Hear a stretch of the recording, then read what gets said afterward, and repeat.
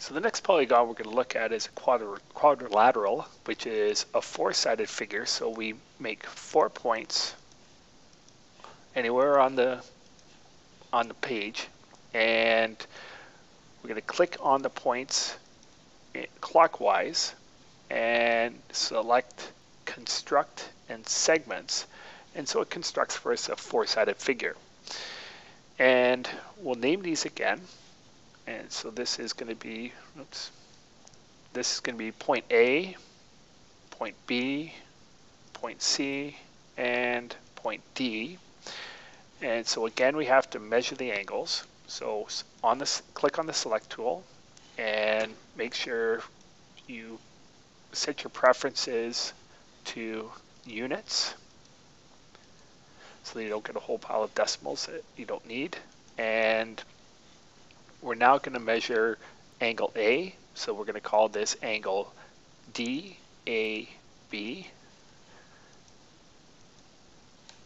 And so that's 100 degrees. We're going to now measure angle, uh, the angle at B, which is angle ABC or CBA. And we're going to measure that angle, and it's 109 degrees. We're now going to measure the angle at point C, which is BCD or DCB, and that's 76 degrees. And we're going to measure the angle at point D. So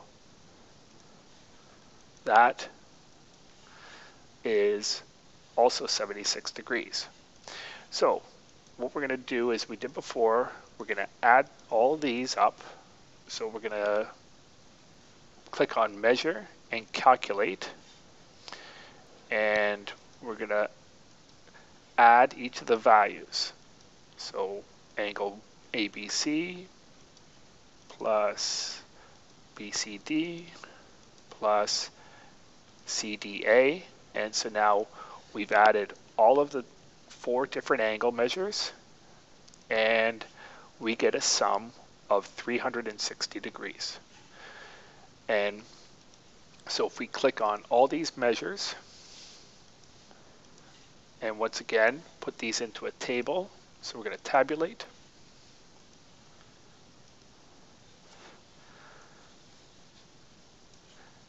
And what we can do is double click and move these points around and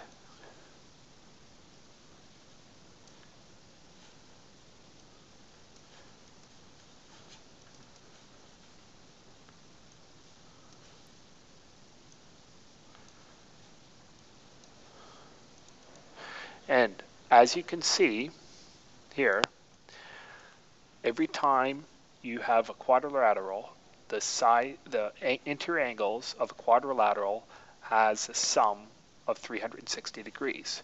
And if we're going to draw a diagonal here, and we're going to draw one diagonal, then we end up with two triangles. And if you note, 180 plus 180 is 360. So there is a relationship between the number of triangles you can draw and the sum of the interior angles of a, of a polygon.